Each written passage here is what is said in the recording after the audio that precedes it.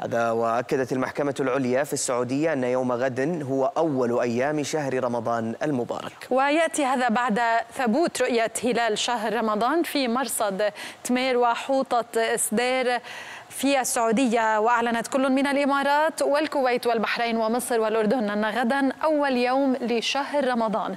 فيما أعلنت سلطنة عمان أن شهر رمضان سيبدأ في أراضيها يوم الأربعاء الرابع عشر. الشهر الجاري ليكون غدا الثلاثاء هو المكمل للثلاثين من شهر شعبان بعد أن تعذرت السلطات المعنية عن رؤية هلال رمضان.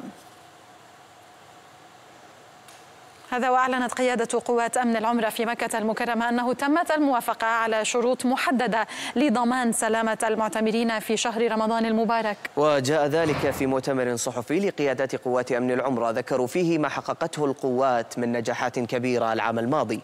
كاشفين عن خطة أمنية للمسجد الحرام تتمثل بعدم السماح بالوصول إلى الحرم المكي بدون تصريح.